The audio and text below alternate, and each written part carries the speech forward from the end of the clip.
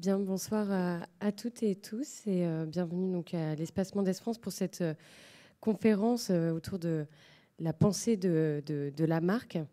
Donc, cette conférence, elle s'inscrit dans, le cadre d'un partenariat que l'Espacement d'Espace a, a, depuis de nombreuses années avec la Société française d'histoire des sciences et des techniques, qui organise son congrès du 19 au 21 avril à l'Université de Bordeaux qui est euh, organisé par euh, l'historien des sciences Pascal Duris, qui est un compagnon euh, de longue route de, l'espacement d'Es-France, et Marie-Laure Saulnier, qui est une doctorante de, au bout de jeune docteur, il me semble, de, Pascal Duris.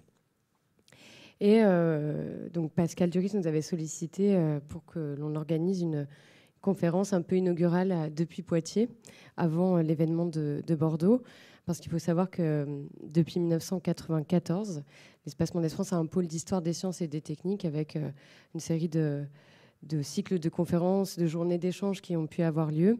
Et euh, que euh, donc Pietro Corsi, que nous avons le grand plaisir d'accueillir, qui est professeur d'histoire des sciences à l'université d'Oxford, qui est directeur de recherche à l'EHESS et qui, est membre du centre Alexandre Coéré, dont il a été directeur, a aussi accompagné cette aventure de construire en fait un certain nombre d'événements euh, avec nous, euh, dont euh, notamment donc une exposition en 96 sur drogue et cerveau, qui a donné lieu à un livre.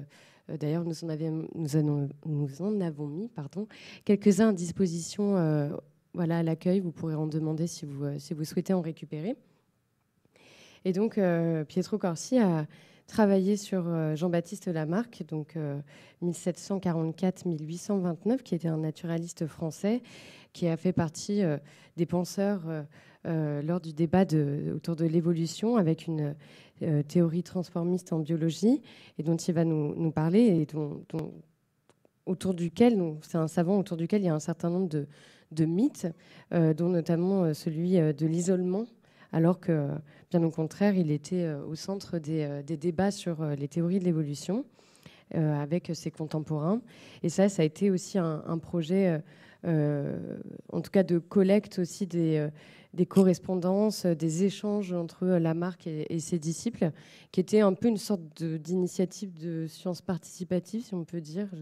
Pietro reviendra là-dessus, euh, euh, qui a été menée donc, dans les années 2000 entre euh, le, musée, le Muséum national d'histoire naturelle, l'espace Mondes France, et lorsque Pietro Corsi était professeur de l'université de Cassino, pour collecter justement tout, toute la correspondance, toutes les notices, tout ce qu'il y avait autour justement du cercle de la pensée de, de la marque.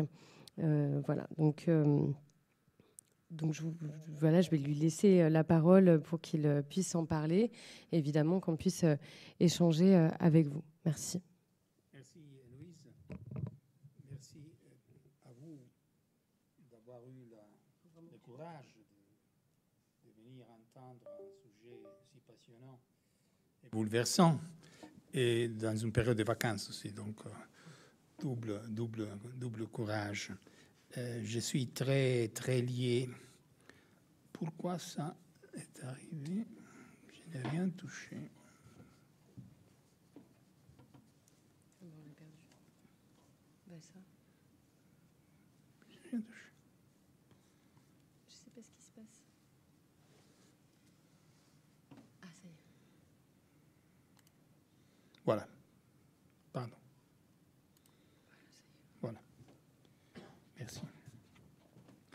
Euh, ma collaboration euh, avec l'espace Médès France a commencé, comme Héloïse l'a rappelé, en 94-15, au tout début de votre, de votre section Histoire des sciences et techniques, pour ainsi dire.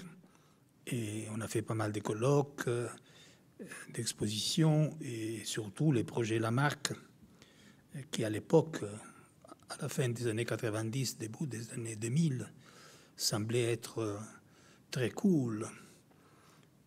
Euh, l'histoire est aussi fille de l'histoire. Euh, on allait vers les célébrations des bicentenaires euh, darwiniennes 2009, date de naissance de Darwin, mais aussi date de la publication de l'une des ouvrages majeurs de Lamarck, la philosophie zoologique. Et donc, il y avait un intérêt plutôt partagé. Ça veut dire que les gens s'intéressaient à ces questions d'histoire de l'évolution, etc. Euh, mais après, le temps a changé les choses. Maintenant, vous avez de l'intérêt pour la marque si vous allez dans des conférences sur ce qu'on appelle Ivo Divo. Ça veut dire les nouvelles synthèses des théories évolutionnistes qui sont euh, mettre ensemble des théories du développement, disons de la embryologique et des théories évolutionnistes classiques. Donc, on pense que finalement, la marque a été revendiquée. Euh, effectivement, il y a la possibilité des traits acquis pendant la vie d'un organisme qui soit transmis à la descendance. Moi, je n'y crois pas. Ça veut dire, c'est pas la marque qui est revendiquée, mais les gens sont contents. Et donc, parfois, on m'invite à parler de la marque. J'étais en Israël récemment, ça me fait beaucoup de plaisir. Euh, mais euh, je leur dis que malheureusement, entre la marque et les théories Ivo Divo d'aujourd'hui, il n'y a aucun lien. Simplement aucun. Donc, euh, ils n'étaient pas trop contents, ils ne vont plus m'inviter, mais la vie est pleine de dangers. Mais pour. je suis professeur, j'ai enseigné partout où il y avait un salaire à gagner, donc ma carrière a été une course au poste comme on disait une fois, permanent, les plus loin possible de l'Italie, si possible. Et, euh, donc pour moi, j'ai préparé un PowerPoint, etc. Mais euh, si vous me permettez, euh, si vous avez la patience de, de, me suivre dans cette expérience, autrement c'est pas un problème. Mais est-ce qu'il y a, est-ce qu'il y a des curiosités que quelqu'un parmi vous a, où il y a des des choses que vous voulez entendre à propos de la marque. Il y a de, des intérêts que vous avez pour certains aspects de la marque ou de Darwin ou des de, théories de l'évolution que vous voudriez que j'aborde. Euh, à l'usuel, vous le savez très bien, le conférencier arrive, dit ce qu'il a à dire. S'il y a des questions, bien, autrement, au revoir. Euh, moi, j'aime toujours commencer, depuis quelques années que je suis vieux, commencer par les questions. Ça veut dire, s'il y a des questions, euh, je, suis, je suis ravi de répondre. Euh, le pire qui se puisse arriver, c'est que je vous réponde, je ne sais pas. A bien sûr aussi cette forte possibilité que vos curiosités dépassent mes connaissances. Mais par expérience, je trouve que pas mal de gens d'entendre des conférences sur la marque parce qu'ils ont déjà des, connaissances, des idées ou des curiosités qu'ils voudraient, voudraient, voudraient euh, disons, euh, proposer. Si c'est le cas, je vous prie de n'hésitez pas à en faire partie à tout le monde. Mais si ça vous, vous semble une tâche, s'il vous plaît.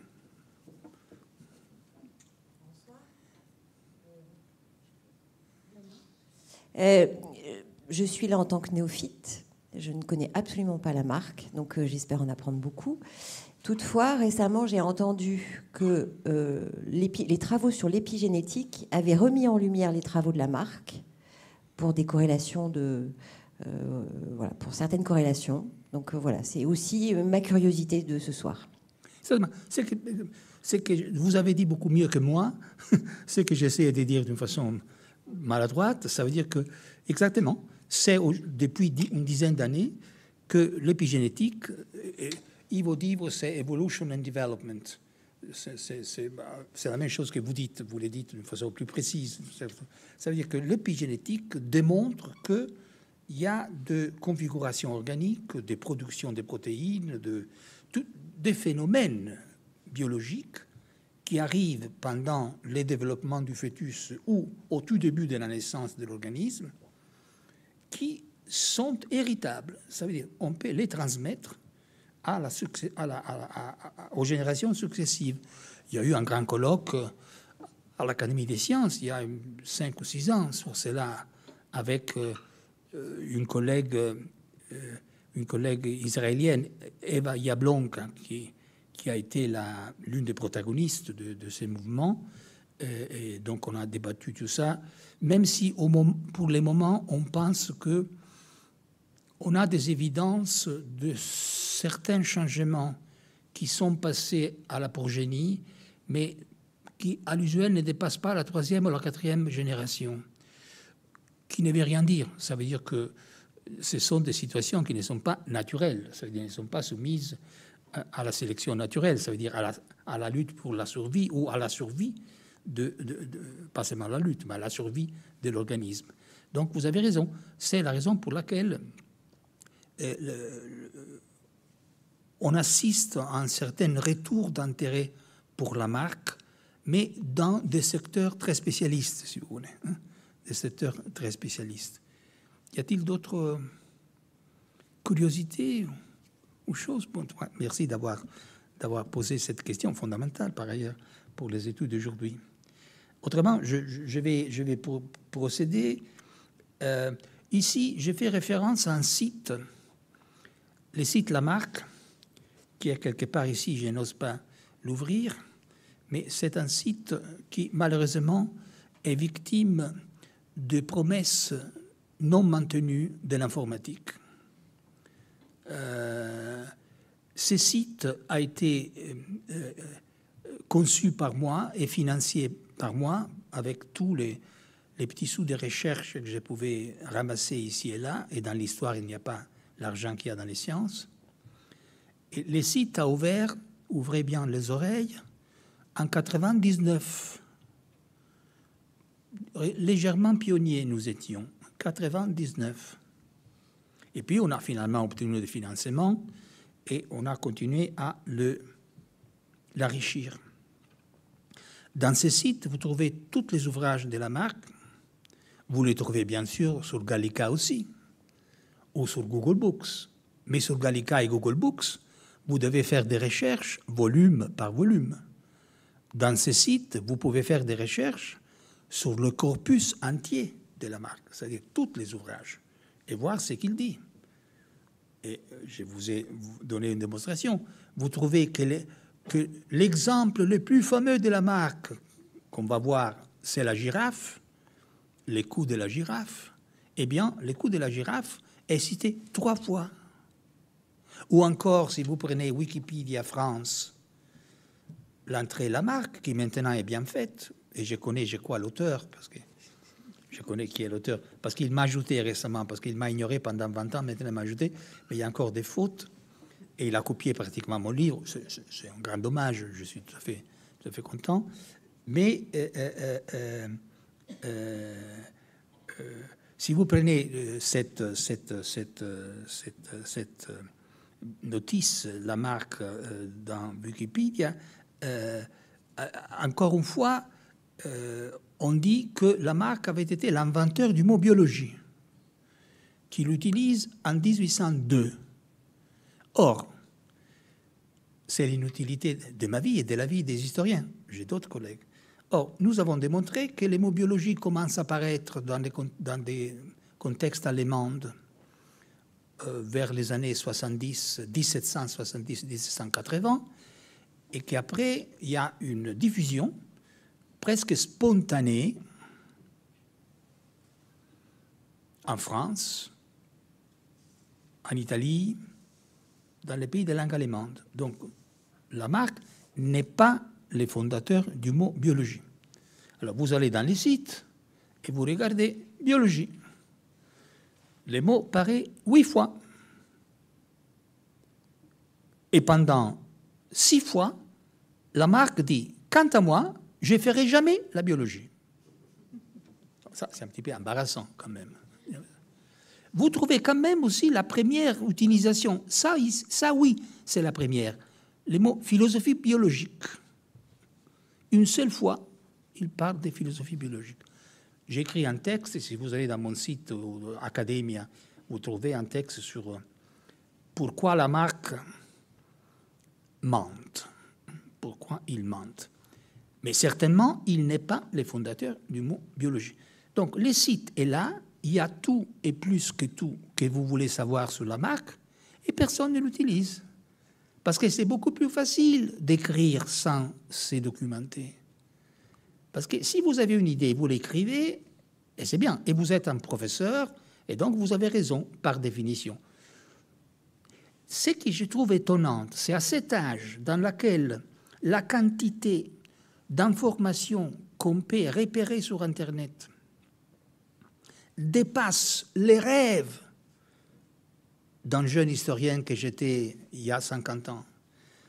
On trouve tout, personne ne les utilise parce que c'est du travail.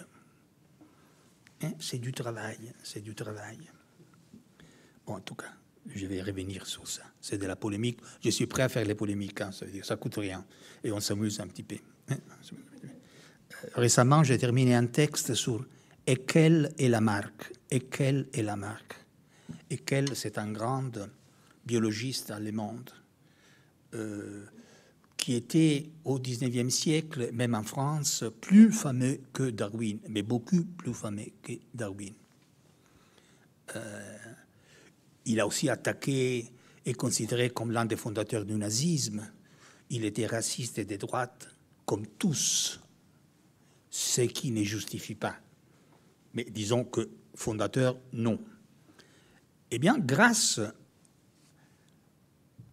à ChatGBT et grâce à Internet, j'ai pu terminer un article dans lequel j'ai travaillé sur les sources allemandes et j'ai trouvé les liens entre Eckel et la marque qui personne n'avait jamais vu. Alors, c'est pas que je suis mieux que les autres, simplement que je passe quelques heures à l'ordinateur. Hmm? Même un aveugle pourrait les voir. Il ne faut pas être intelligent pour trouver ces choses. Bon, en tout cas. Le site est là. Je disais, victime des promesses des informaticiens. Le CNRS a, pas le CNRS en tant qu'entité, il n'y a pas de volonté. Il n'y a pas de volonté. Je ne me sens pas persécuté. Le site a duré 24 euh, euh, ans. Euh, c'est bien. C'est pas mal. Mais ils ne sont plus capables de les mettre à jour.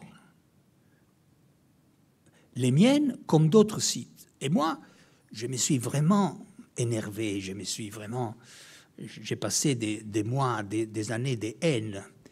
Et puis j'ai découvert une chose. J'essaye de placer le site Lamarck à Stanford. Stanford University, la bibliothèque de Stanford s'appelle Silicon Valley Library. Ça vous dit quelque chose hein? L'informatique devrait être dans leur... Hein, C'était à côté. Quand vous allez chez les boulangers, ils vont euh, euh, à Silicon Valley. Hein? Ils ne sont pas capables de le faire. Pas seulement ça, ils m'ont dit que un autre site pionnier, réalisé à l'année 2000 par une collègue, Paula Findley, en tout cas, peu importe, par une collègue, les informaticiens ont dit à cette collègue de Stanford qu'ils n'ont pas le temps de se pencher sur des projets vieux de 20 ans, qu'ils ne les intéressent pas, qu'ils refusent de les faire. Stanford. Donc, je me suis, j'ai trouvé la paix. Ça veut dire, j'ai trouvé la paix. Ça veut dire, le site est encore accessible. Si vous voulez l'accéder, vous m'écrivez un petit message électronique ici. Et moi, je vous donne le code d'accès gratuit. La première fois que j'ai ouvert le site en 2000, des collègues de Paris m'ont accusé de réaliser des sites pour gagner de l'argent. Moi, j'avais mis presque 20 000 euros de mes épargnes extraordinaire. C'est l'idée qu'on gagne de l'argent avec un site, un site la marque, c'est, c'est seulement un professeur des universités qui peut avoir cette idée. Hein. un site porno, probablement oui, mais un site sur la marque, ça me semble vraiment l'état démentiel de la culture officielle. Vous savez qu'ils n'ont pas de cerveau complètement. Donc, voilà. Donc, si quelqu'un est intéressé, vous m'écrivez un petit message électronique dans l'espace euh, 24 heures maximum si je ne suis pas au bureau, euh, je vous envoie, euh, vous recevez un message automatique euh, qui vous invite à créer votre mot, mot, de passe. Je voulais dire ça parce que c'est intéressant, parce que la potentialité de l'outil électronique est immense, mais l'activité privée des chercheurs pour ajouter à la masse de connaissances est clairement euh, empêché. Ce sont seulement les grandes institutions. Et encore, je, vous citais Stanford. l'une des bibliothèques les plus importantes au monde, qui, qui ont ces conflits professionnels. Ici en France, au CNRS, même chose. Humanum, qui est l'entité du CNRS qui contient 800 sites Internet, 800, ils sont au but de la ligne. Ça veut dire que l'argent pour faire fonctionner ces machines devient astronomique. Parce que ici, il y a une, chose un petit peu franco-française, ça veut dire les, les, les comment dit ça, les, les jalousies des corps. Les corps des ingénieurs de ZNRS, dont mon webmaster, soutient que le chercheur doit être tenu le plus loin possible des sites Internet. Et les sites Internet sont une affaire de techniciens. Et donc, ils voient dans les sites Internet un processus lié à leur carrière qui est fondé sur une innovation constante. Et les restes les jettent à la poubelle. Et donc, le site Lamarck aussi ira dans cette poubelle de l'histoire, qui est normal. Voilà, mais c'est plein de belles choses. Et il y a aussi euh, euh, euh, une base de données auquel, à laquelle Héloïse faisait référence, de 1278 signatures des gens qui émergeaient les registres du Muséum d'histoire naturelle. Quand Lamarck donnait ses cours, il donnait ses cours de 1795 à 1819, puis 23 officiellement, mais en tout cas, peu importe. Les, les registres couvrent les années 1795 1823, et on devait émerger. Pendant les années de la Révolution, ça veut dire après la terreur, participer au cours du Muséum d'histoire naturelle ou au cours d'autres institutions, donner les droits à un certificat de civisme. Donc c'était politiquement très important. Rappelez-vous que Robespierre avaient été considérés les chefs des terroristes. Les mots étaient employés à l'époque. Ça veut dire ceux qui voulaient détruire toute forme de culture. Donc être jacobin, c'était être euh, un musulman de l'ISIS, aujourd'hui. C'était vraiment quelque chose. Donc, les premiers cours de la marque, on voit que l'âge moyen était 44 ans. Il y avait des généraux de l'armée, euh, il y avait des, officiers de la marine, euh, il y avait des politiciens. Hmm? Donc, la liste de ces 1278 signatures, c'est une, représentation de la société française qui bouge des années, de la, des, années dures de la Révolution à travers les consulats, pardon, le directoire, les consulats, l'empire et puis le début euh, de la restauration. Euh, avec, une, euh, avec l'espace Mendes France, Anne Bonnefoy, que je vais remercier, et Pascal Duris, on avait commencé à essayer de voir qui étaient ces 978, parce que les 1278 signatures, c'était des gens qui allaient plusieurs fois. Et donc, en effet, c'était 978, si je me rappelle bien, mais en tout cas, c'est trouve sur les, sur sites, personnes physiques, y inclut quelques femmes. Pas mal d'étrangers, énormément d'étrangers. Énormément d'étrangers. Énormément d'anglais, énormément d'écossais, d'italiens, d'allemands qui venaient à Paris entendre les cours, suivre les cours du muséum. Euh, avec mon intelligence supérieure, j'ai dit, écoutez, faisons ce travail, mais si nous arrivons à identifier 10% de ces gens, ce sera un miracle. Nous sommes au-delà des 58%. Donc, autre, autre prophétie, mais c'est aussi tombé à, l'eau sans vraiment aucune rémission. Mais on a identifié 560, bon, c'est tout écrit, les chiffres. Et par chaque signature, par chaque individu, nous, vous avez en ligne la signature originale, parce qu'il y a pas mal d'inconnus. Donc, on espérait que des gens utilisaient les sites pouvaient reconnaître la signature, vous comprenez? Donc il a une population. Euh, par exemple, des choses amusantes. L'un des premiers traducteurs de Darwin en russe, Eichwald, allemand, vivant dans une ville allemande dans la Russie, était l'un des derniers élèves de Lamarck, par exemple. Les pères de Toulouse-Lautrec avaient suivi les cours de Lamarck, etc., etc. Donc il y, a, pas mal de, choses intéressantes. Mais ça, ça c'est les sites, et je ne vais pas vraiment perdre trop de temps. Je vais simplement, euh, ça c'est les monuments de la marque au Muséum d'histoire naturelle. Entrée côté gare d'Austerlitz. Et arrière, sur l'arrière, il y a la fameuse petite sculpture. Euh, la fille euh, dit Mon père, les futurs vous vengera, etc. C'est une statue érigée en 1909. Euh, euh, avec beaucoup d'argent venant des zoologues américains. Donc les Américains toujours dit qu'ils n'avaient été jamais lamarckiennes, euh, mais en effet, euh, vers la fin du XIXe siècle, la majorité des biologistes américains avaient une forte propension lamarckienne. simplement, très très rapidement, parce que peut-être personne ne connaît rien de Lamarck, ça, ça date de naissance et des morts.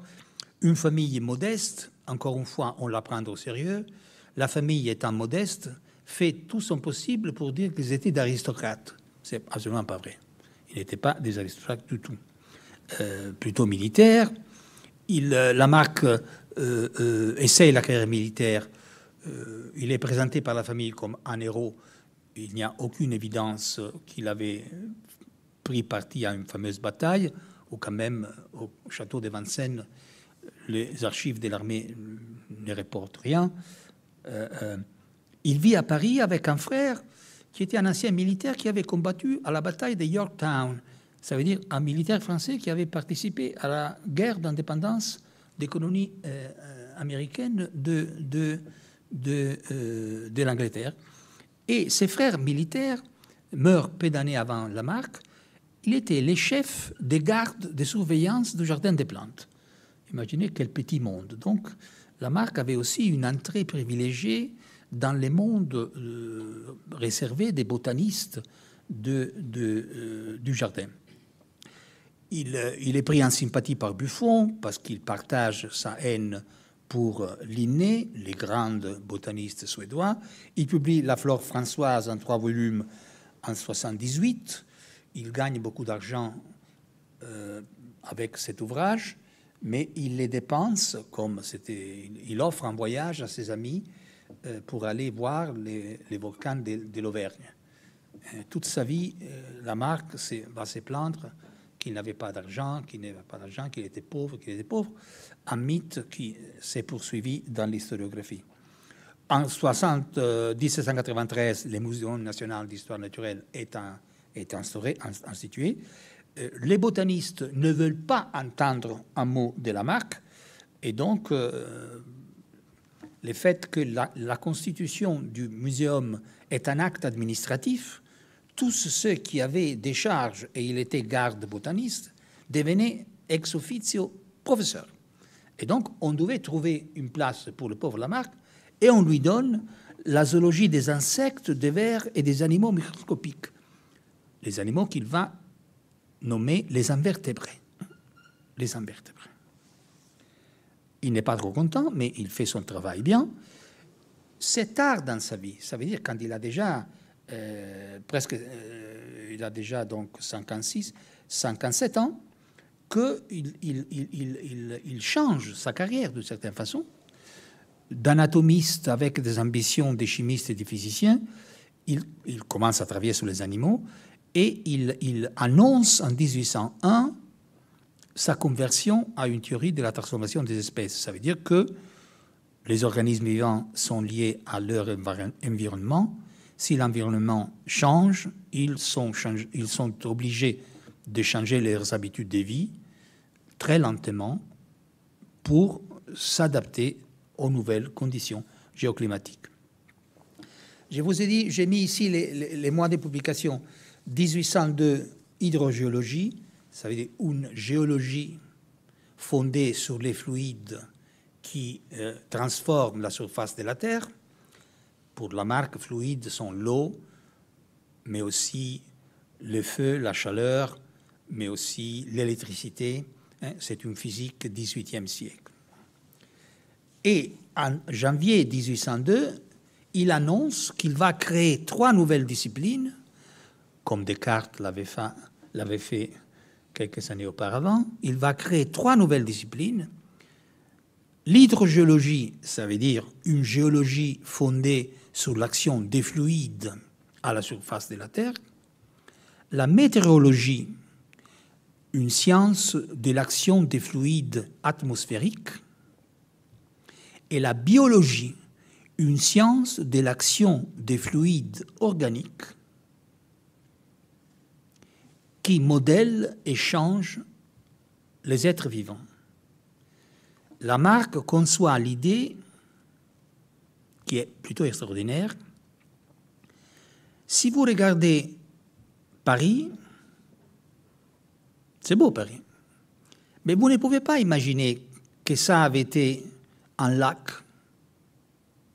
ça avait été une fois les fonds de la mer, et puis encore un lac. Donc, la stabilité de la Terre est en effet relative à notre petite expérience humaine. Mais la surface de la Terre change continuellement.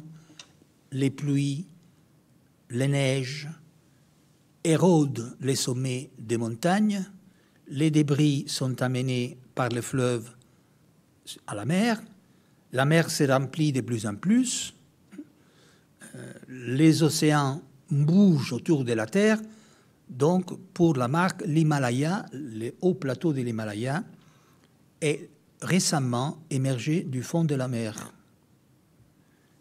Je pourrais vous donner une explication moins euh, chaotique, mais il a une explication très claire comment ce haut plateau de l'Himalaya est un ancien fond de la mer. Et enfin, la biologie. Pour la marque, si vous prenez les temps de la nature, les changements de la surface de la Terre et les changements des organismes vivants se suivent comme les nuages dans un ciel de printemps poussé par les vents. Ça, c'est plutôt extraordinaire. Ça veut dire que si nous nous mettons dans la perspective de la nature, des temps immenses, les fluides internes aux organismes, continuellement sollicités par l'environnement, poussent l'organisme à changer dans une direction ou dans l'autre.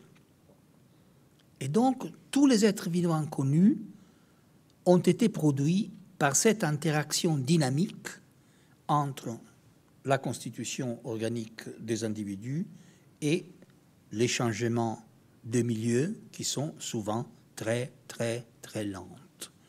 Et quand l'un de ses ennemis Cuvier dira Mais on a trouvé en Égypte des momies d'oiseaux, d'ibis qui sont exactement les mêmes, Lamarck dira ben Oui, dans 4 ou 5 000 ans, rien n'a changé en Égypte. Et donc, euh, il n'y a pas de raison pour s'attendre que les momies soient différentes. Donc, j'ai dit, en 1802, en janvier, il annonce qu'il va fonder trois nouvelles disciplines, hydrogéologie, météorologie, biologie. Et en juillet 1802, six mois après, les soi-disant nouveaux Descartes dit Mes propos dans mon ouvrage précédent ont été mal interprétés. Quant à la biologie, je suis vieux, j'ai énormément de choses à faire et j'en ferai rien. Ah, ça, c'est plutôt extraordinaire quand même. 1809, philosophie zoologique. C'est la deuxième édition de l'ouvrage précédent de recherche sur l'organisation des corps vivants, mais en deux volumes. Il dit Quant à moi, la biologie ne sera jamais entreprise. Et les volumes, les deux volumes de la philosophie zoologique, sont sa biologie. Mais il dit, je ne la ferai pas. 1815-1822, Histoire naturelle des animaux sans vertèbres, 1815, premier volume, la synthèse presque finale, disons, de la pensée évolutionniste de Lamarck, il dit J'ai l'intention de fonder une nouvelle science pour laquelle il n'y a pas les noms, je l'appellerai biologie. Alors, est-ce qu'il se moque de nous? Ou est-ce qu'il y a là une histoire à dévoiler? Alors, je trouve extraordinaire que, que des ans d'amis et d'ennemis de Lamarck n'ont jamais remarqué que, ou il nous prend pour cons, pour parler comme nos élèves, et où il y a quelque chose. Et certainement, il y a quelque chose. Parce qu'à partir du printemps 1802, les premiers consuls lancent la lutte contre les idéologues. La les mots biologie rappellent, rappellent idéologie. L'idéologie, c'était l'idée de faire une philosophie qui se passe de la métaphysique. Et la biologie, c'est l'idée de faire une science de la vie qui se passe des forces métaphysiques. Et Lamarck dit, moi, non, je suis vieux, je n'ai pas le temps, je ne le ferai pas, je ne le ferai jamais. Et puis, en 1815, les rois rentrent avec la fameuse charte qui promet la liberté de la presse. Et les pauvres Lamarck y croient. Et donc il dit, oh, finalement, je vais en parler. Mais bien sûr, il se rend compte qu'il avait mal lu la partie euh, imprimée en petit en bas de la charte. Et donc, il dit User à obéir, j'ai obéi. Ça veut dire il renonce avec cette phrase magnifique d'un homme d'une grande dignité, parce qu'on euh, lui dit d'arrêter même ses travaux de météorologie. C'est Napoléon lui-même qui dit à Lamarck arrêtez cette folie de votre météorologie. Et la marque dit imprimez. J'ai accepté. Usé à obéir, j'ai obéi. Donc ce pauvre homme, vraiment, dans un monde beaucoup plus grand et beaucoup plus, plus méchant, euh, méchant qu'il ne pouvait jamais être. Et voilà, la marque Darwin, c'est un sujet de conversation.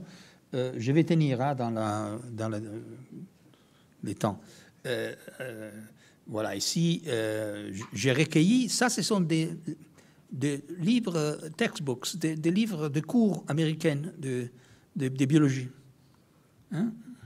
La girafe, hein, la girafe, l'écho de la girafe s'étend parce qu'elle veut, elle veut, manger les, feuilles en haut, etc. Et la marque lui-même, à la fin, euh, devient, devient une sorte de girafe.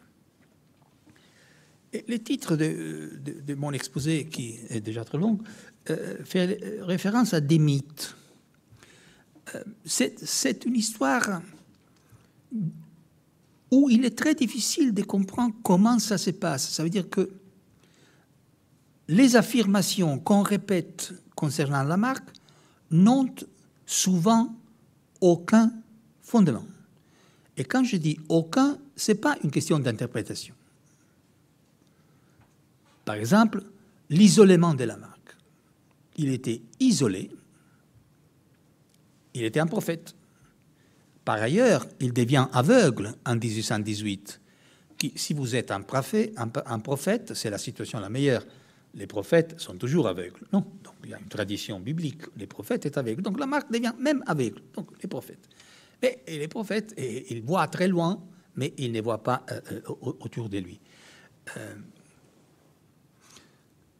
la France pullule des théories évolutionnistes à partir des années 1770. Je veux dire, pullule. Il y a une quantité d'ouvrages, d'auteurs, d'ouvrages populaires, d'encyclopédies, des dictionnaires, des pamphlets, des cours donnés, dans lesquels, bien sûr, ce n'est pas toujours la même chose, mais qui ont en commun l'idée que la vie s'adapte au changement de milliers. Pour quelques-uns, c'est parce que la divine providence veut ça, donc il y a même une interprétation conservatrice de cette façon. Et il y a des interprétations matérialistes qui s'inspirent à un grand poète latin, Lucrèce, de Rerum Natura.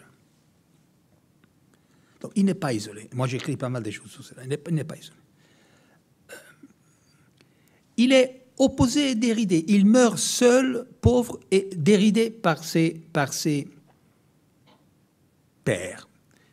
Évidence pour cela, le nécrologue écrit par Cuvier, un grand anatomiste, un grand scientifique de l'époque, à la mort de Lamarck. Euh, ce n'est pas un éloge funèbre, c'est un assassinat posthume euh, d'une méchanceté, comme Cuvier pouvait l'être, d'une méchanceté extraordinaire. On est admiratif de l'intelligence de, de, Cuvier, vraiment très très méchant. Il dit en bref ce que Lamarck a dit qui était juste, l'anatomie des invertébrés, il l'a copié de moi. Tous les restes, il était complètement fou. Il n'était pas fou. C'est Cuvier dit quelque chose d'une sociologie, d'une sociologie de la connaissance presque contemporaine à nous. Il dit, vous voyez, il était quelqu'un qui aimait parler, mais n'entendait jamais personne. Et en plus, il ne fréquentait pas la société. Et donc, il n'était pas habitué à être contesté. Et il vivait dans un monde où ses idées, c'était lui-même. Hein. Donc, l'image de cet homme reculé sur soi-même, qui travaillait tout le temps et qui n'entendait pas le monde.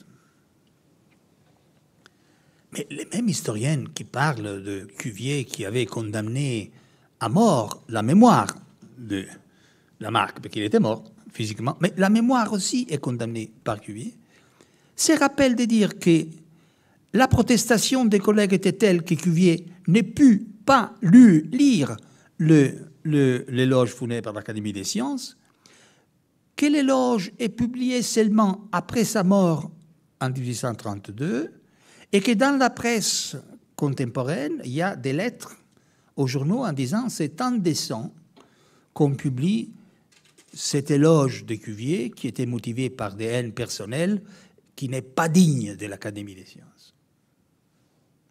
Oh, ça, ça, on, l'oublie. Et puis l'autre, il meurt seul, aveugle et pauvre. Il meurt seul, c'est vrai, on meurt toujours seul. On dit toujours entouré par la famille, mais je crois qu'il aide peu la famille. Euh, aveugle, oui, tout à fait, euh, je l'ai dit, il était et pauvre. Il était pauvre comme moi, je suis pauvre, retraité de l'éducation nationale. Ben, euh, moi, je ne suis pas pauvre, je vis bien, je ne suis pas riche, je ne suis pas pauvre. Et Lamarck n'était pas pauvre. La chose intéressante, c'est que les mythes de Lamarck qui meurt pauvre, aveugle et seul est créé par ses amis. Ah, ça, c'est fort intéressant. Ça veut dire, quand on fait les discours funèbres, Cuvier ne participe pas aux funérailles. Son éloge était en tant que secrétaire de l'Académie des sciences. Il n'était pas présent aux funérailles. Mais aux funérailles est présente un autre grand naturaliste de l'époque, Geoffroy Saint-Hilaire, qui a une attitude ambiguë vers la marque, mais quand même, ce qu'il dit aux funérailles est l'origine de ces mythes meurt seul avec les pauvres. Il dit il était vieux maintenant, il était aveugle, on les voyait prendre le soleil avec sa fille les beaux jours au jardin des plantes, la fille de mon père le futur ou vengera. Euh, et il ajoute, mais lui chauffait le cœur, savoir que nous, en Europe, le considérions les français. Alors, pourquoi Geoffroy Saint-Hilaire insiste sur la pauvreté et sur l'isolement total de la marque. Bon, l'isolement était là, bien sûr. Il était vieux, il était à la retraite, il était pas bien. Euh, euh, parce que les vraies cibles de l'éloge de euh, la marque par Cuvier, par, par, par Geoffroy, c'est Cuvier. Dans la littérature de l'époque, et il faut lire pour, il faut lire pour parler d'une époque, il faut lire l'époque. Il ne faut pas la regarder du dehors ou à travers. Cuvier dit ça, alors c'est vrai. L'idée de lire les temps à l'intérieur d'un auteur individuel, c'est de la folie totale. Il faut lire l'auteur dans les temps, pas les temps dans l'auteur. Bien sûr, le temps est dans l'auteur. D'une certaine façon, c'est évident. Mais aussi, dans l'auteur, il y a pas mal de choses qui ne sont pas là, des choses du temps qui sont absentes. Donc il faut lire les temps. Et si vous lisez les temps, euh, vous voyez qu'il y a une quantité d'auteurs qui prend la parole pour faire l'éloge de la marque. La marque était devenue aveugle et pauvre à cause de son amour pour la science, Cuvier était devenu riche et gras à cause de son manque de structure morale. Donc c'était des attaques contre Cuvier. Et en 1829, attention, 1829, décembre, nous sommes à quelques mois de distance de la révolution de juillet 1830. Cuvier est membre du Conseil d'État. Il est un ministre du gouvernement. Et attaquer Cuvier, ça voulait dire attaquer les gouvernements de la Restauration. Donc, la contraposition, Lamarck, prophète, aveugle, pauvre, seul, qui, comme dans la statue, hein, comme dans la statue, qui triomphe dans les futurs. Il, est projeté dans les futurs. Il triomphe sur Cuvier, qui est un homme d'argent. C'est pas vrai. Cuvier était un grandissime scientifique. Mais nous parlons de, de, de, des journaux politiques, disons. Donc ça, c'est une création des amis de la marque, pas des ennemis.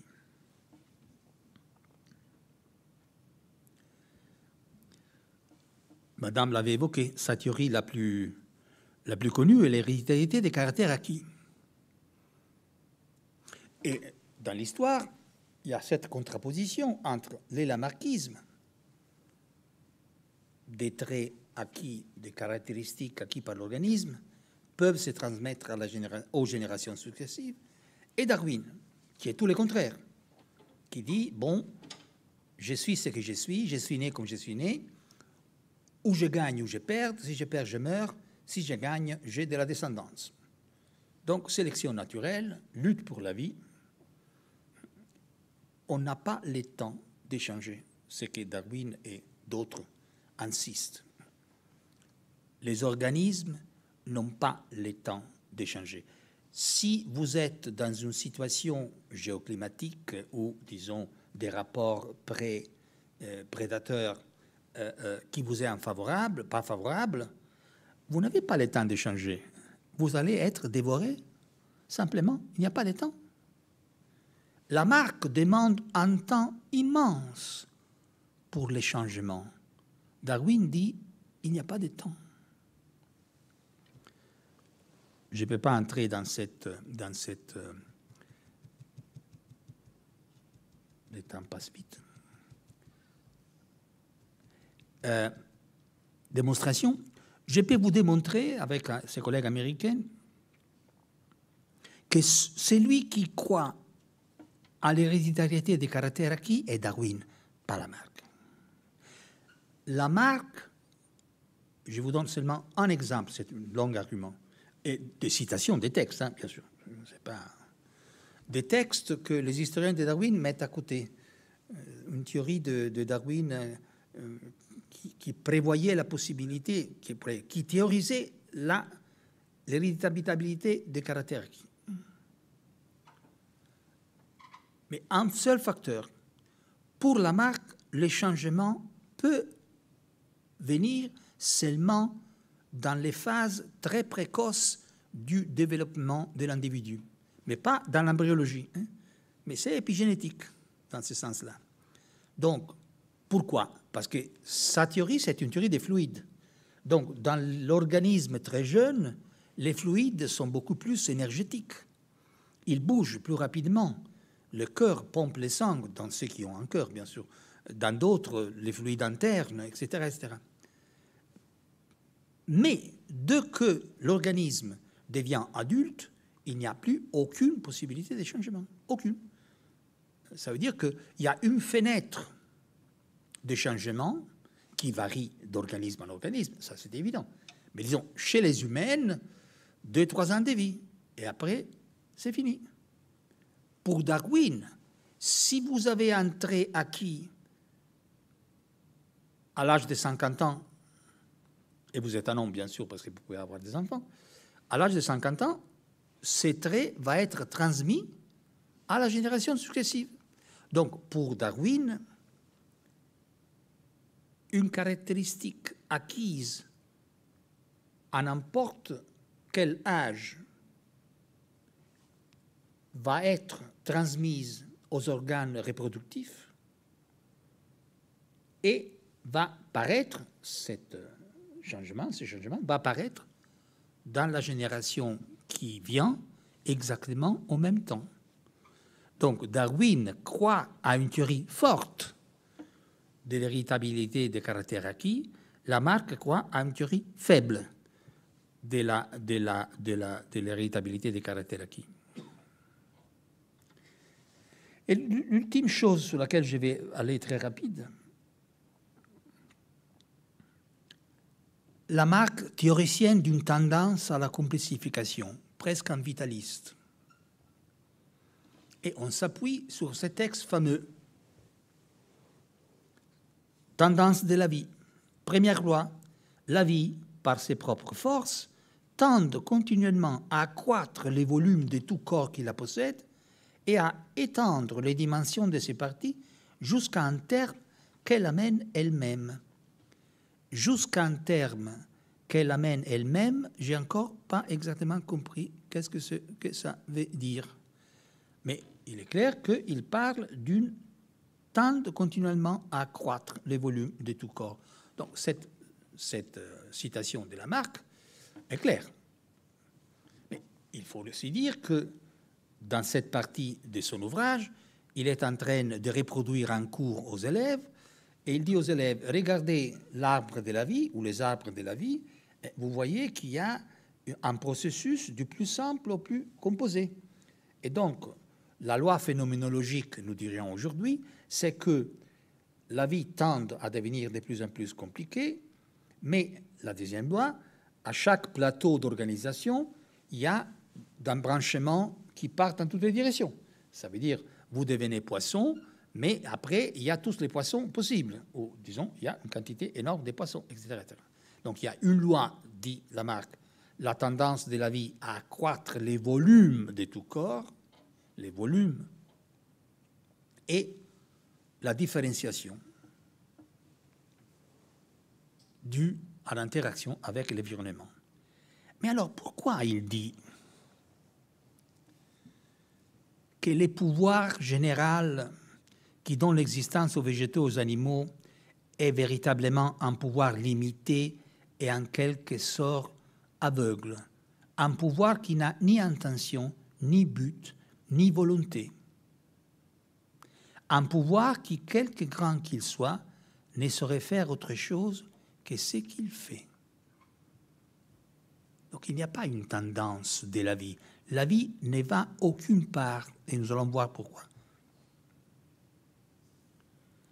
Puis, oh, ça, simplement, c'est qu'il n'y a pas une série. Donc, ceux qui ont dit que la marque croit qu'il y a une série linéaire du plus simple composé, il dit il n'y a pas une série elle n'existe pas. On ne peut pas mettre tous les espèces dans une série linéaire parce qu'elles euh, partent dans toutes les directions à, travers l'adaptation constante.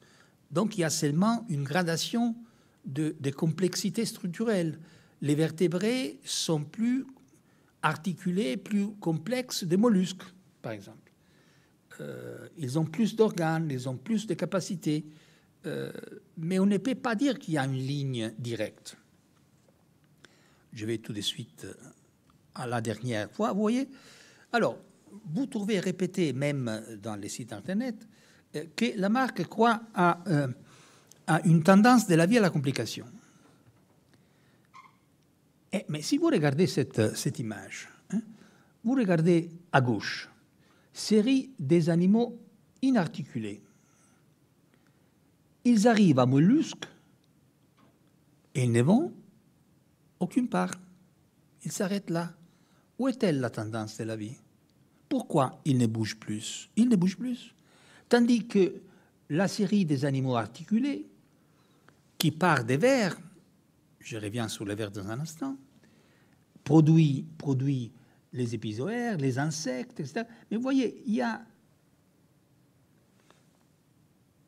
les arachnides ne vont aucune part. Euh, ça veut dire que même la lignée, pour la marque, il y a deux lignées fondamentales. Celle qui s'arrête euh, aux mollusques et celle qui arrive jusqu'à l'homme, de certaine façon. Mais il y a toute une série de lignées qui ne vont aucune part. Si on veut être paradoxal, le monde de la marque, c'est un monde de stabilité, pas d'instabilité. Les mollusques ne, vont jamais devenir quelque chose d'autre. Ils, ils ont une organisation qui leur permet de vivre. ils vivent euh, bien ou mal, mais ils vivent. Et donc, il n'y a aucune sollicitation au changement. Donc, ils, sont stables. Et pour terminer sur cette question, alors, je répète, c'est un dogme que la marque croit à une tendance de la vie à devenir plus complexe. C'est surtout dans les corps vivants et principalement dans les animaux qu'on a cru apercevoir un but aux opérations de la nature. Ce but, cependant, n'y est là, comme ailleurs, qu'une simple apparence et non une réalité. En effet, dans chaque organisation particulière de ces corps, un ordre des choses préparé par les causes qui l'ont graduellement établi n'a fait qu'amener par développement progressif des parties, régis par les circonstances, ce qui nous paraît être un but, ce qui n'est réellement qu'une nécessité. Donc il n'y a pas une tendance, il n'y a pas une direction. Il y a des organismes qui sont ici et là sollicités par l'environnement, par les nécessités de la vie, et qui obligatoirement doivent réorienter la dynamique des fluides internes pour répondre à ces sollicitations. Mais ça, ce n'est pas un but, ce n'est pas une finalité. N'est réellement qu'une nécessité. Donc c'est un monde de déterminisme physique impitoyable dans lequel il n'y a pas d'espace pour quelque forme que ce soit, des finalités, des, téléologies, et moins que moins, bien sûr, d'intervention divine, divine ou de création. J'avais toute une autre partie, mais je, vais m'arrêter ici. Une heure est passée, c'est trop. Euh, ça, c'est notre ancêtre pour la marque. Ça veut dire, dans les mollusques, il y a un mollusque qui est formé comme ça. Ça, c'est une, on l'a trouvé dans l'océan Indien, qui pour la marque a la possibilité de devenir invertébré. Ça veut dire de créer la transition entre les invertébrés et les poissons. Parce que pour la marque, une fois que vous êtes les poissons, tout est fait. Ça veut dire qu'il faut attendre et les choses vont se développer. Mais comment passer des invertébrés aux vertébrés? Toute sa vie, il réfléchit et arrive à cette solution qui est plutôt belle, je dois dire, plutôt élégante. Donc voilà, la marque un homme plein de mythes. Non, lui, non. Mais sur lesquels on s'est plongé avec des idées préconçues très fortes. C'est l'un des biologistes les plus cités et les moins lus. Il n'y a pas une édition nationale des ouvrages de la marque. Il y en a 47 de Darwin, mais pas de la marque. On les cite, mais on les publie très rarement. C'est la raison pour laquelle les sites voulaient remédier à ce problème. Et je dois dire que il y a des collègues aux États-Unis qui l'ont utilisé. Il y a un nouveau livre qui va être publié sur la marque fondée sur, sur ah, qui a utilisé les sites. Mais je dois dire, ça a été une déception. Mais une déception que j'étais ravi d'avoir vécue avec les amis de Mendes France, avec Pascal Duris, avec pas mal de chercheurs, et, disons, une jeunesse de 24 ans, c'est acceptable. Merci.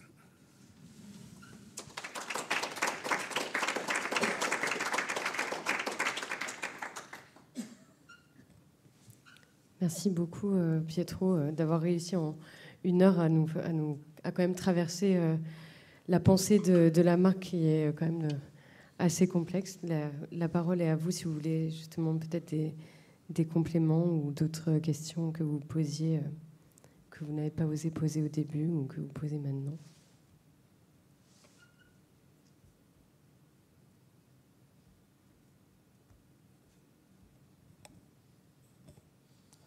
Y a-t-il chez la marque une place pour le hasard? Pardon? Y a-t-il une place pour le hasard dans, les mécanismes de transformation? Non. Ça termine sur la nécessité, donc on pense forcément au hasard. Non, c'est une très bonne question. Non, il n'y a, pas. De... Le hasard, c'est le hasard, c'est que moi je me trouve dans cette condition et pas dans l'autre. Ça, c'est l'unique hasard. Ça veut dire que je vais changer si je suis dans, si je vis dans un milieu euh, qui change. Donc ça, c'est pas préordiné. Mais il n'y a pas l'idée de des variations par chance. Euh, c'est un monde newtonien d'une certaine façon. tout est prévu, même si nous ne connaissons pas les raisons pour lesquelles euh, tout est prévu. Mais c'est clair que tout est prévu. Ça veut dire que ce sont des actes physiques qui répondent à des lois physiques. Donc il n'y a pas de hasard dans les lois physiques. C'est un petit peu ça, serait sa position.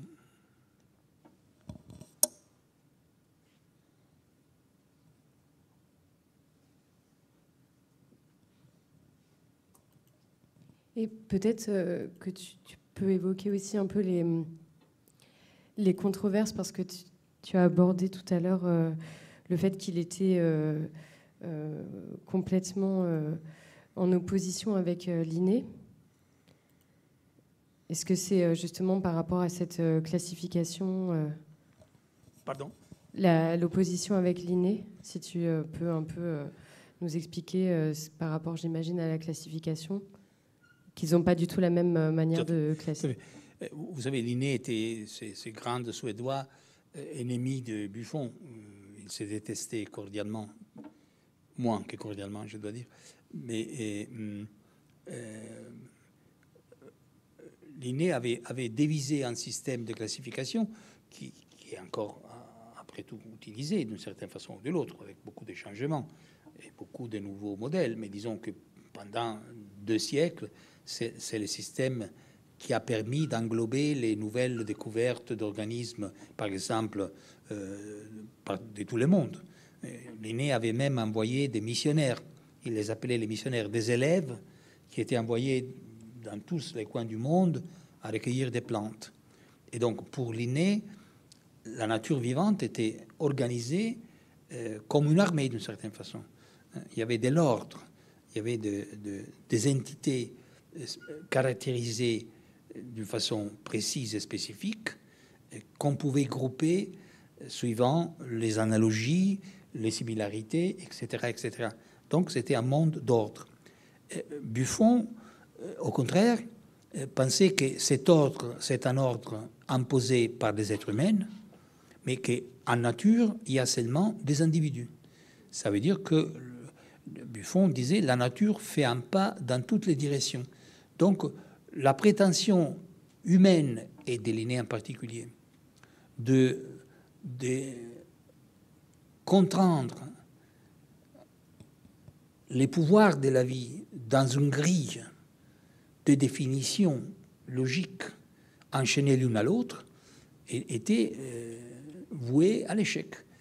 Et, donc, euh, la marque les suivait, mais dans ses ouvrages botaniques euh, ultérieurs, il, accepte à la fin l'inné. Il dit que bon, il n'est pas d'accord, mais c'est un bon système à utiliser. Ça sert pour, euh, disons, comme outil de mémoire pour se repérer à l'intérieur de, la quantité énorme des formes de vie. Euh, aussi, chez Linné, il y a un mythe, le mythe que Linné aurait dit, et il avait dit, que les formes de vie que nous voyons sont celles qui ont été créées par Dieu. Donc, Linné devient le, créationniste en chef. Mais en effet, au fur et à mesure qu'il est confronté par l'énorme biodiversité, nous, disons, nous dirions aujourd'hui, euh, il commence à, modifier. Il pense que le bon Dieu a créé une série de formes, mais que ces formes éparpillées par tout le monde ont généré de nouvelles formes par hybridation. Ça veut dire que pas mal de plantes ont la capacité de changer d'une façon limitée, mais en s'écroisant entre elles, elles produisent des hybrides que, dans certaines localités, peuvent avoir du succès.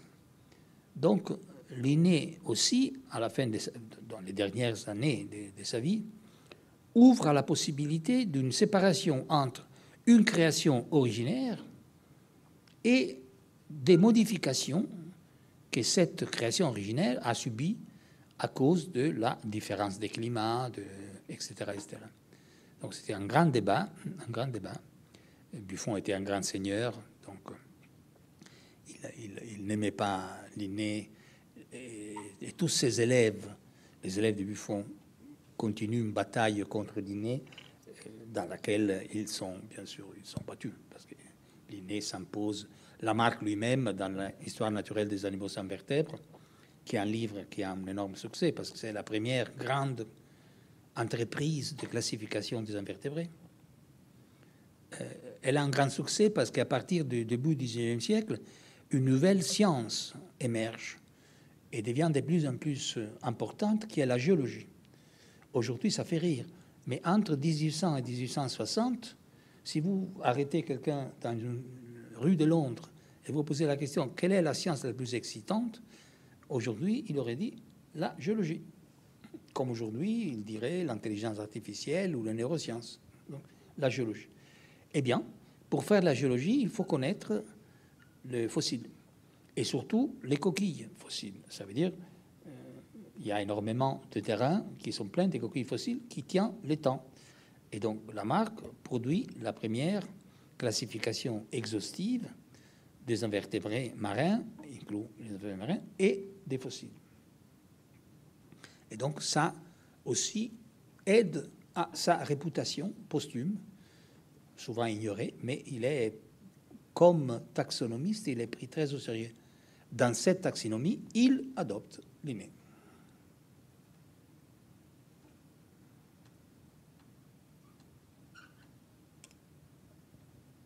C'est toute question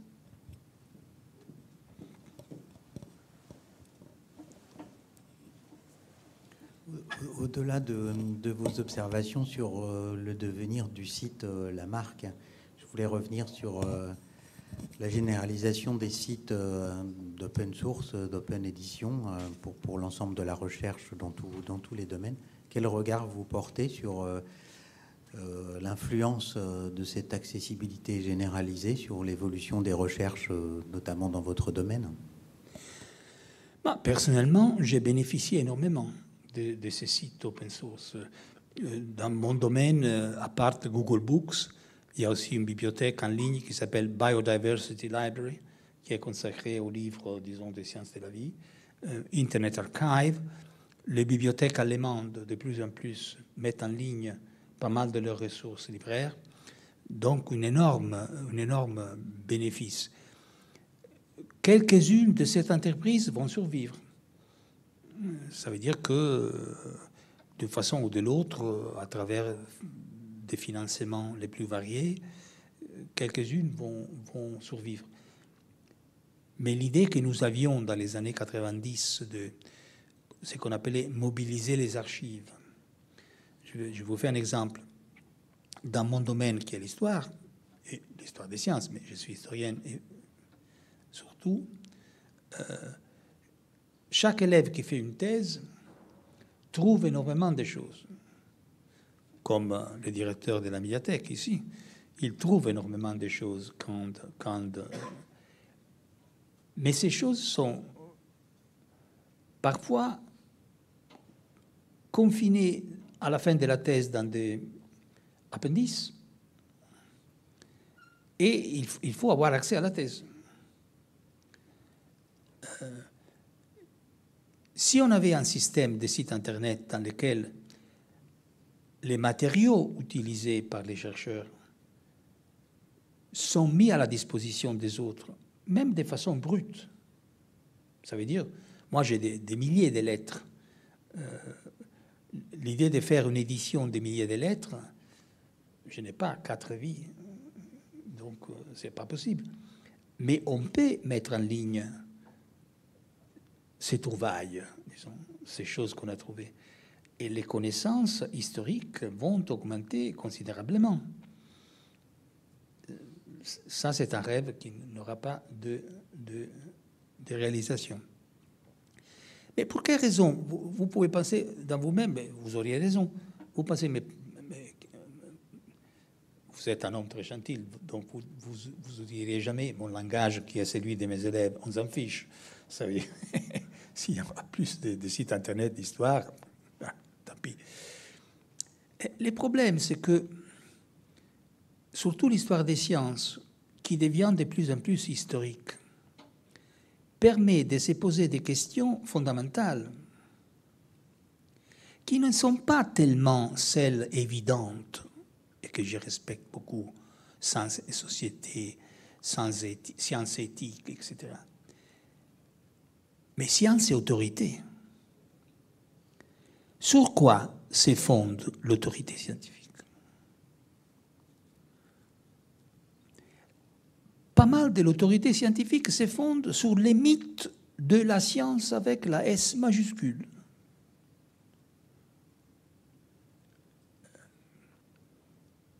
Et on a fait passer des horreurs immenses. Déterminisme génétique, théorie de la race. Théorie de la race. Moi, je faisais un cours à Oxford. Vous êtes obligé chaque année de faire un cours seulement quelques heures dans les cours, à tous les élèves en histoire, et vous avez face à vous 200, 250 élèves. Et moi, je faisais l'autorité de la science, justement, ce thème ici, l'autorité de la science. Et euh, vous savez, les professeurs sont un petit peu des gens du spectacle. Et donc, j'attendais que les 250 élèves s'étaient assis, et puis j'ai distribué, un par un, une photocopie d'un poster nazi de 1934 sur la stérilisation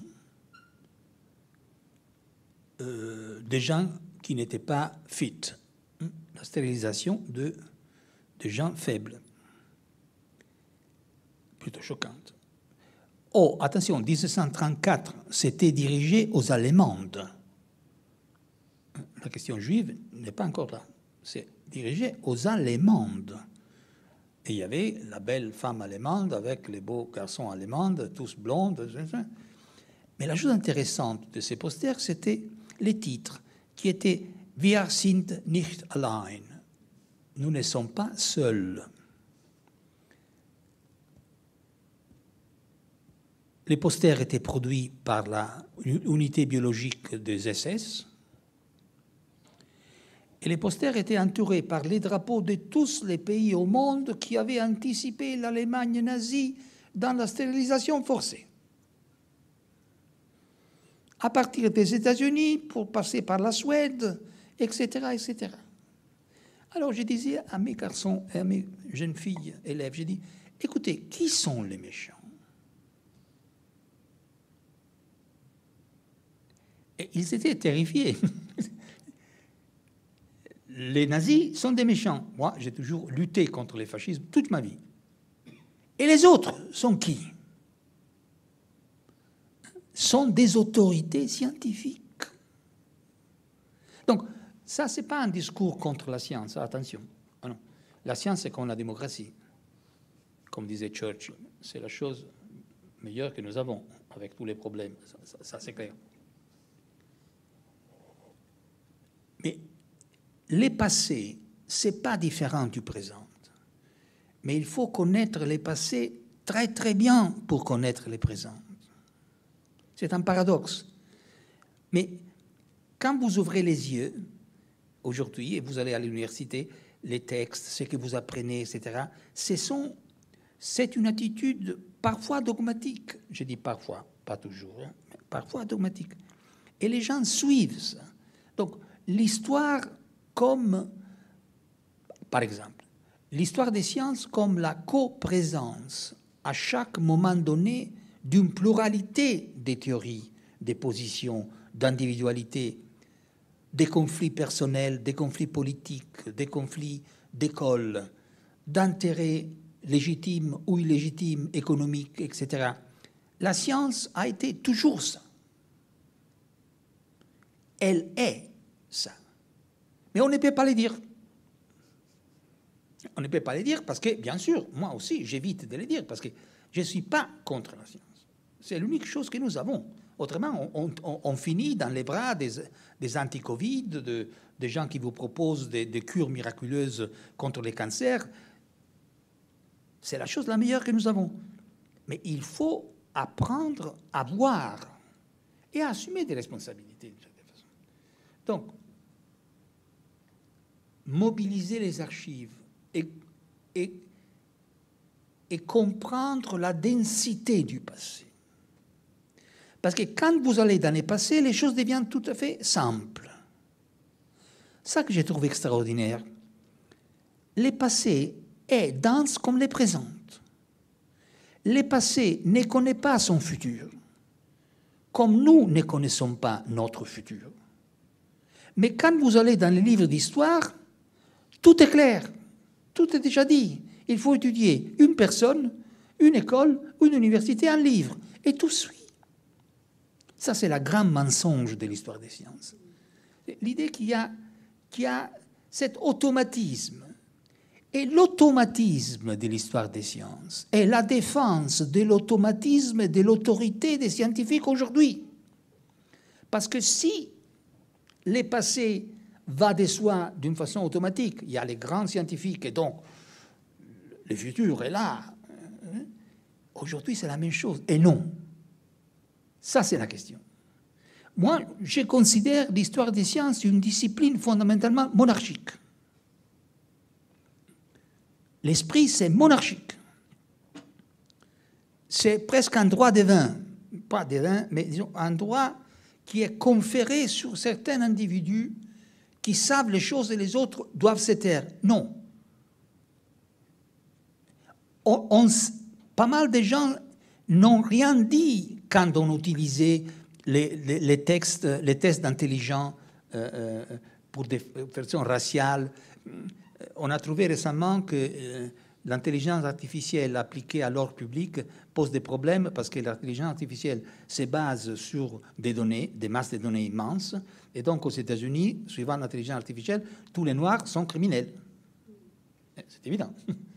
Donc vous comprenez, je veux dire, que s'il n'y a pas je ne veux pas dire que tout le monde doit être historien, mais le devoir de l'historien, c'est de démontrer que le passé est compliqué comme le présent. Et donc le présent n'est pas si simple comme on prétend qu'il soit. Donner tous les pouvoirs scientifiques et tous les problèmes seront reçus. Ah non. Vraiment non. Moi, je suis généticien. Pas. Et je revendique mon droit de citoyen de dire que le déterminisme génétique est fasciste. Alors, les gens disent Ah ben, vous n'êtes pas un généticien. Oui, mais je connais le fascisme.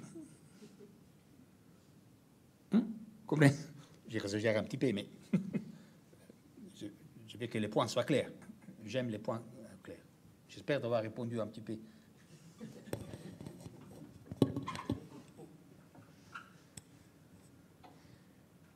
C'était l'ultime question.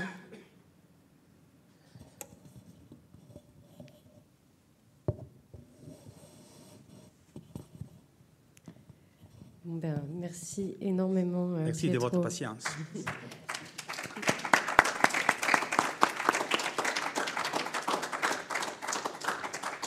Et donc, euh, pour celles et ceux il y a qui le souhaitent, il y a la suite du congrès euh, sur les trois jours à Bordeaux seront un peu plus avec plusieurs thématiques abordées. Voilà, donc vous êtes les bienvenus.